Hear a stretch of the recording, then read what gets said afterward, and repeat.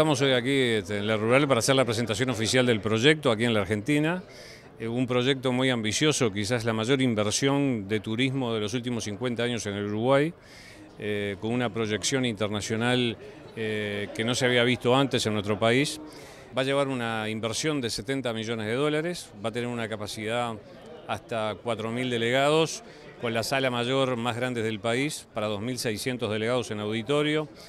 y vamos a tener un predio ferial de 6.000 metros cuadrados cerrados más 6.000 metros abiertos. Este complejo en sí mismo va a tener en su totalidad casi 15.000 metros cuadrados de construcción en un área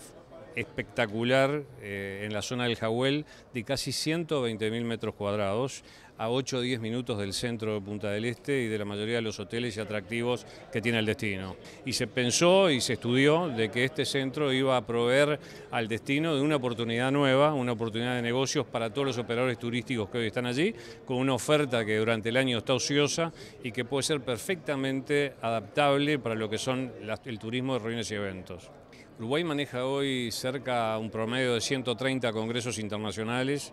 Estamos hablando de casi 130 millones de dólares por año, es el 7% del total del ingreso por turismo en Uruguay. Es un sector que ha crecido en los últimos 15 años, ha prácticamente triplicado el número de reuniones que llegan en este momento a nuestro país y ahora con este centro se nos abre una nueva oportunidad que es el sector de ferias y exhibiciones, que hasta ahora, si bien se había trabajado, se había trabajado con cierta timidez por falta de infraestructura. Y ahora, gracias a esta nueva infraestructura, vamos a tener la posibilidad de incursionar en este sector, que como lo vemos aquí hoy, estamos en la rural, es tremendamente importante y creemos que también va a sumar a esa oferta que tiene Punta del Este. Eh, las obras avanzan eh, muy rápidamente. Estamos hablando de mayo del 2016, está prevista la apertura, no estamos hablando de mucho tiempo, estamos a menos de un año y estamos todos realmente contentos de ver que la obra se va a consolidar como estaba previsto en el proyecto original.